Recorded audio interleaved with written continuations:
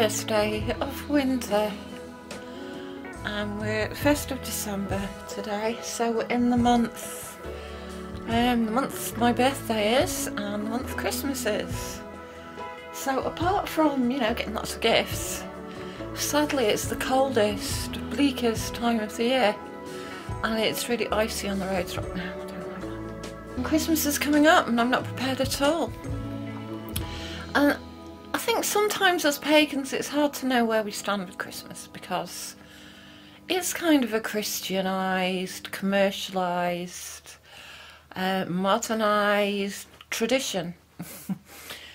Santa Coke and, you know, the little Coca-Cola truck and all of that. Um, so yeah, it can be a bit tacky, can Christmas. I don't really know how I feel about it this year. I have decided this year that I am doing a kind of personal Christmas. And, you know, you're supposed to spend Christmas with your family or with people, feasting, celebrating, drinking lots. Um, personally, I kind of like sitting around watching TV and eating chocolates, but, you know, each to their own. Um, and I decided that you don't really feel, have to feel obliged to do what everybody else does. I think I'm going to do it quietly and I think I'm going to spend time with my cats. I think I just fancy doing something very simple this year. I do want to get away from the the hype and the perfection of it all and the obligations.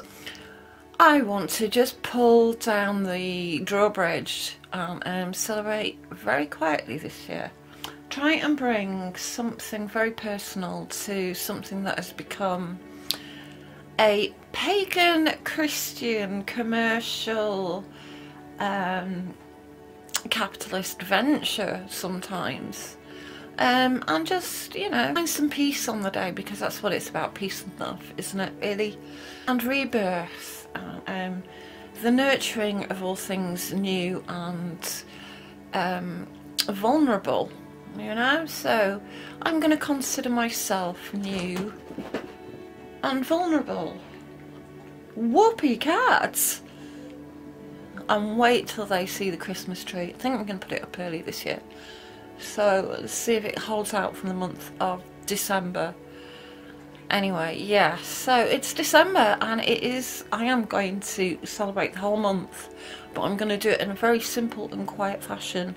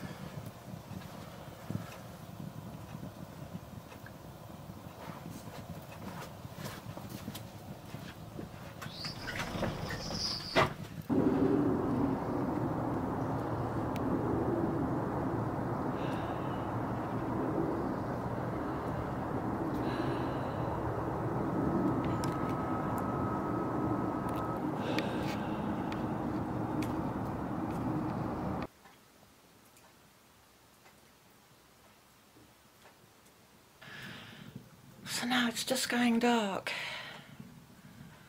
and I've got the fire lit and I'm enjoying just one moment of quiet and peacefulness. That's what winter's about to me. It's about hibernation, it's about finding your centre. So, and the little sparkly lights are beginning to light up like the stars out there. Love it. Apparently there were northern lights, uh, but I didn't see them. And boys in my NYPD choir was singing Galway Bay, and the bells were ringing out on Christmas Day.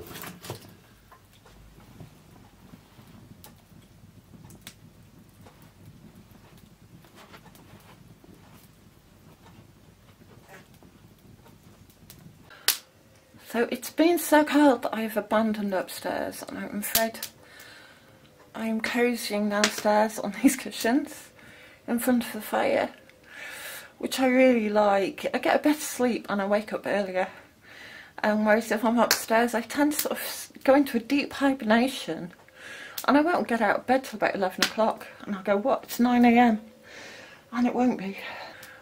Yeah I think it's in winter that you really, um, you're really faced with survival, especially in a cold climate when it dips below freezing. It really does actually bring you face to face with, you know, the basic essential survival in life and important things like keeping warm, keeping well fed, uh, making sure you've got supplies in, making sure even that you can maybe be snowed out for a while. So I want to take Christmas and Yule and midwinter right back to its simplest, most basic, um, what it means to me form. That makes me think about why, why we celebrate. Makes me think about how we celebrate, what's essential, what's important, and what really feeds our souls in this uh, rite of passage, which is what it is really.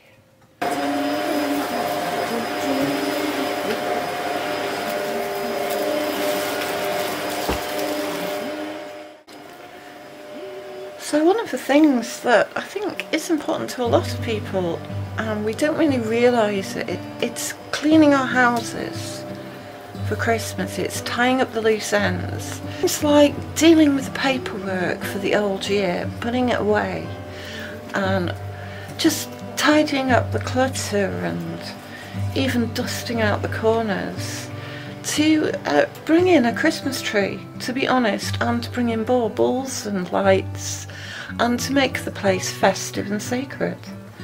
So, cleaning seems to be an important part of Christmas. And that ties in with the goddess Perchta or Berchta, who was an Austrian Germanic goddess, possibly related to Frau Holle and associated with the 12 days of Christmas.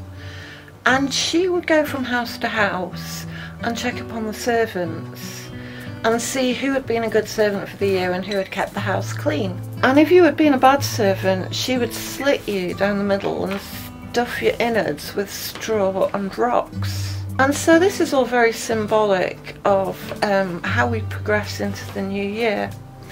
Do we drag the baggage of the last year with us or do we clear it out to make space for the new? And Perchta is a beautiful enchanting being at Christmas and she's really appealing to people at this time. She had two faces. She was a beautiful young maiden and an ugly old woman. And she was known as Schöne Perchta, or I think I'm saying this right, Schlafe Perchta.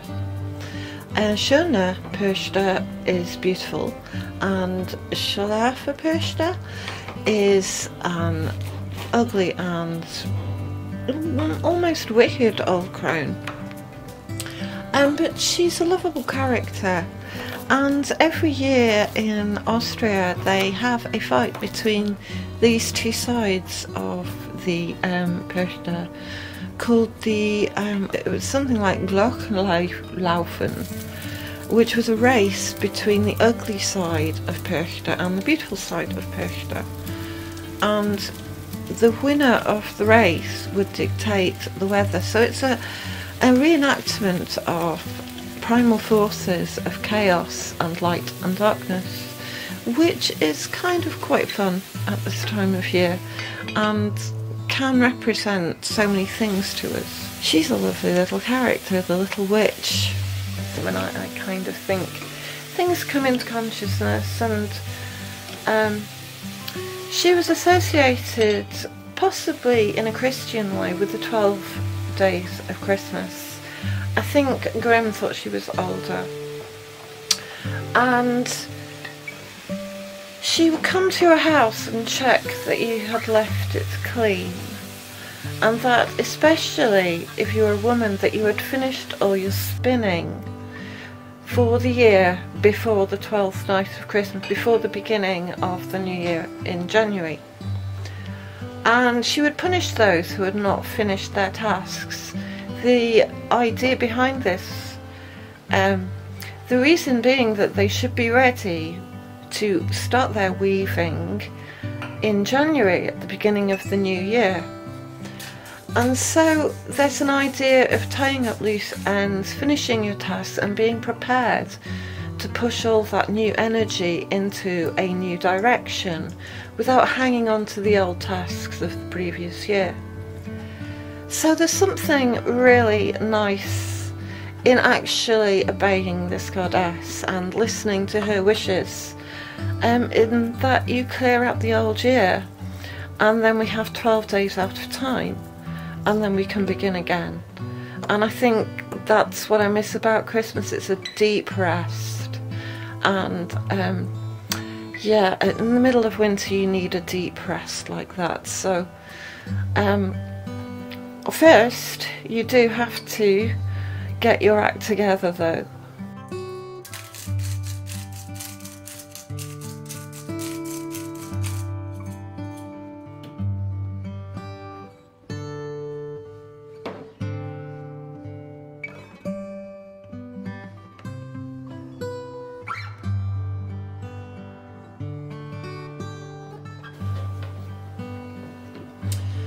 Saw these crafts somewhere on TikTok and I thought what brilliant idea to make some little gifts for people, just something simple like a nice tree decoration. So I thought it would be nice to make some fly agaric mushrooms to hang on the tree or you can just leave them around the house as decoration, I suppose. Um, but when you think about it, there's all sorts of lovely shapes you can hang from a tree. So I've got a couple of hearts here, I've got a star. Um, but uh, yeah, I really thought it would be nice this year to put a little bit of uh, effort into making simple gifts, nothing too expensive. I did have to buy the stuffing, um, which is, wasn't too bad, and um, I thought they make cool little gifts. Just to add something personal back to Christmas, um, I like to try and make something. This year I haven't got much to show, so what a good plan. So fly are associated with Christmas quite strongly. In fact, a lot of people consider Santa Claus to be a fly agaric shaman. Um, the reason for this is um, because of the fact that he wears red and white, which might be a later addition to him, but does uh, associate him with the sacred colours of red and white. Um, he flies through the sky and he delivers gifts down chimneys. So this might all indicate that there was a role for a shaman at Yuletide, at winter solstice, to go and visit the people and apparently take them the sacred mushrooms, which if you think about it, it was the darkest, coldest part of the year.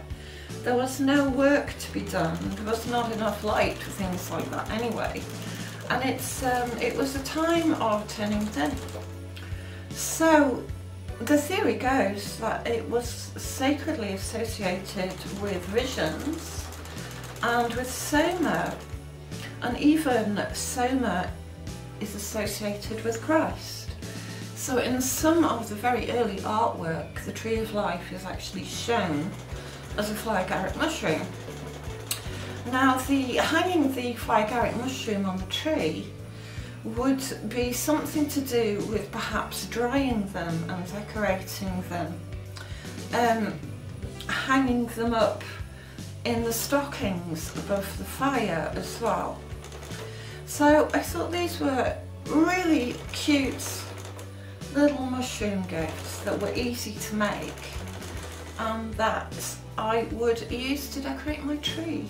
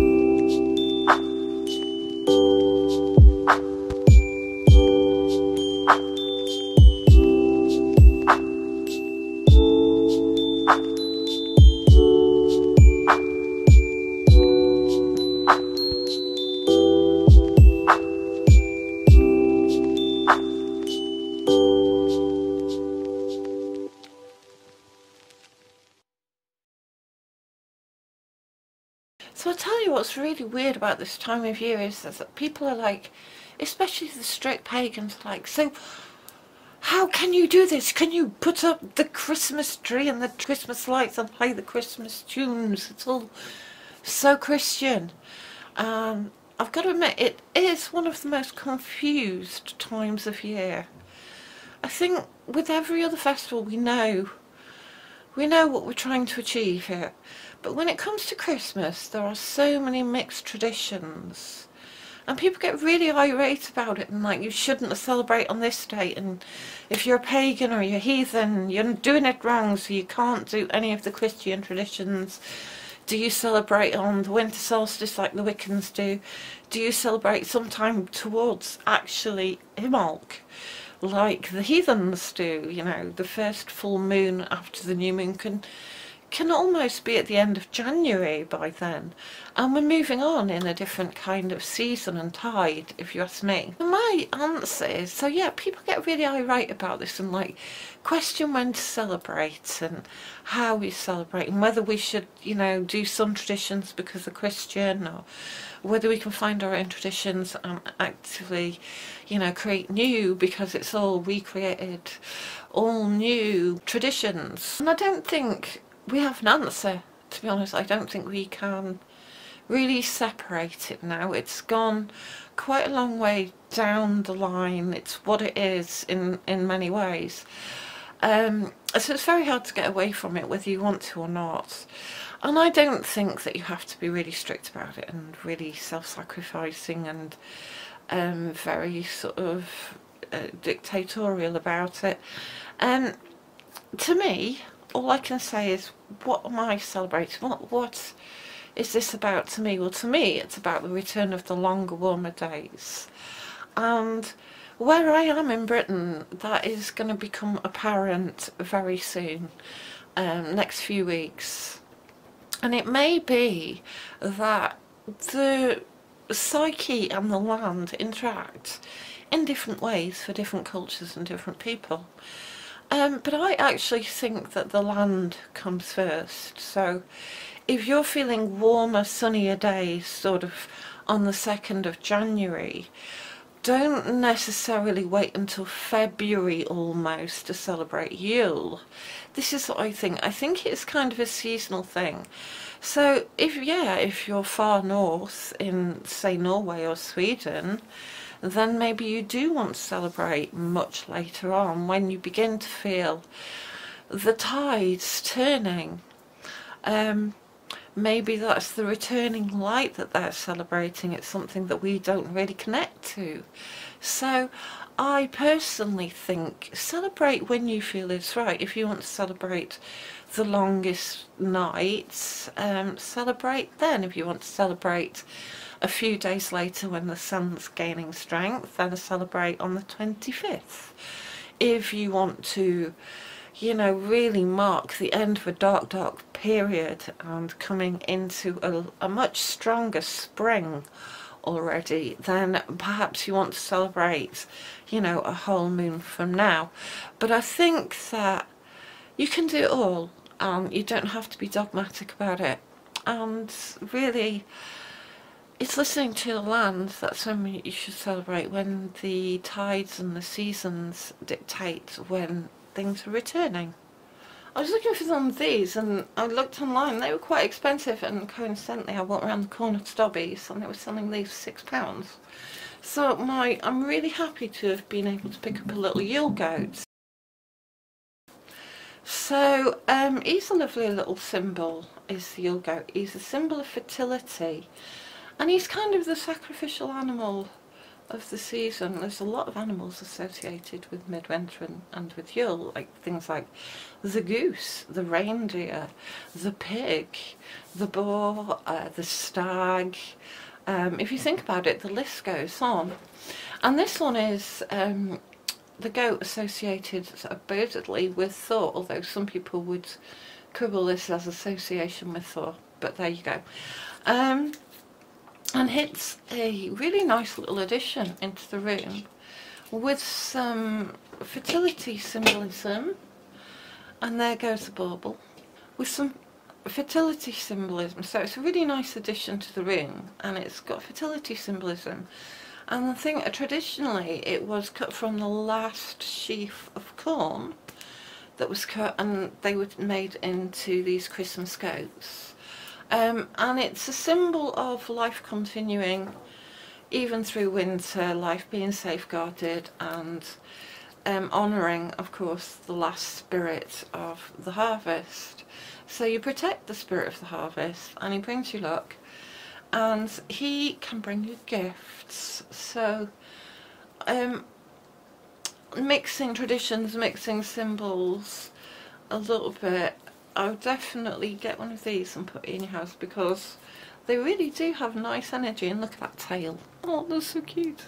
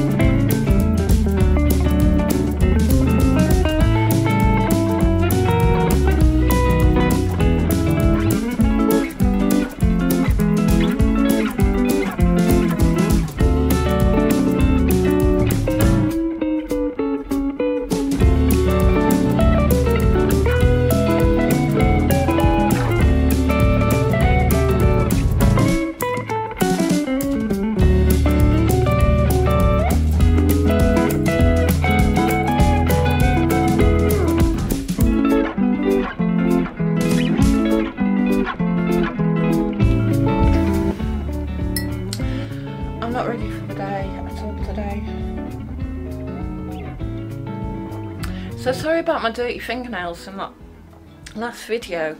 I was gonna film this all again, but actually I quite liked what I got. So I'm gonna show you something I practiced a bit last night. Um, the knot is a little difficult, so I would practice on a spare piece of cloth before you begin your finished pieces. The thing is, you can pull a knot and pull it tight. I made the mistake of going around and squishing the foam into place and shaping the mushroom. Don't do it because the string will come loose and you'll get little, you know, little piles of thread coming off here. So once you've pulled your string taut and taken the needle to another part of the mushroom, leave it taut and turn the mushroom and carry on and it will take its own shape and that way you get a much neater knot at the end. So it took a little practice I think I understood. Don't mess with the mushroom. Anyway they're lovely. I really like them and I've decorated my tree with I want to make loads because they look fantastic. And it's got a theme now of red and white with the mushrooms. It really does look quite sacred. Sacred tree um, so I'm going to show you that in a minute, but thank you for watching. I hope you've enjoyed this little vlog. Um, I'm hoping to get back to a more normal routine next year, so we'll see how that goes. And um, thank you again. Have a Merry Christmas, Happy Yule, Merry Midwinter and Happy Wassailing and whatever you do at this time of year, I wish you a very deep and peaceful rest and lots of celebration. Nice food. So I'm going to show you my tree. I love it and have a good one. See you soon. Thank you. Bye.